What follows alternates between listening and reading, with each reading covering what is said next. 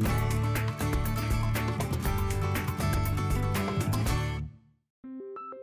My great aunt had these beautiful little teacups and I loved them when I was a little girl. Now I own them and I love to incorporate them in my entertaining. But just because they're old doesn't mean they're outdated.